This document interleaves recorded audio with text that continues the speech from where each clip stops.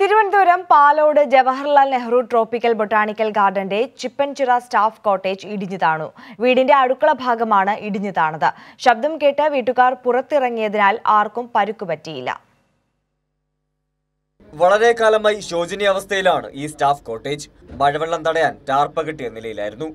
മുപ്പത് വർഷം പഴക്കമുള്ള കോട്ടേജിൽ കഴിഞ്ഞ പതിനൊന്ന് വർഷമായി സ്ഥാപനത്തിലെ ഗാർഡനർ സ്റ്റാഫായ മനോഹരനും കുടുംബവും താമസിക്കുകയാണ്.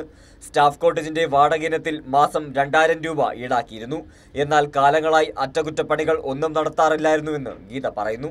കൊച്ചും അച്ഛനും അമ്മകളും എല്ലാവരും ഉണ്ടായിരുന്നു. അപ്പോഴും ഒരു ഭയങ്കര ഒരു ശബ്ദം കേട്ട്. ശബ്ദം കേട്ടപ്പോഴത്തേക്കും മരം ഒടിക്കും പോലെയാണ് നമുക്ക് തോന്നിയത്. അങ്ങനെ ഞങ്ങൾ ഓടി അടുക്കളയിലോട്ട് ചെന്ന് നോക്കിയപ്പോൾ അടുക്കളയിൽ നിന്നാണ് ആ ശബ്ദം കേൾക്കുന്നത്. ഞങ്ങൾ അങ്ങ് അടുക്കളയിലൊക്കെ ചെന്ന് നോക്കിയപ്പോഴത്തേക്കാണ് ആ മണ്ണിന്റെ അടിയിൽ നിന്ന് സ്ലാബ് അതിൽ പൊങ്ങി വന്നുകൊണ്ടിരിക്കുന്നത്. ശബ്ദം കേട്ട് വീട്ടുകാർ ഓടി പുറത്തിറങ്ങിയതിനാൽ ആർക്കും പരിക്ക് പറ്റിയില്ല.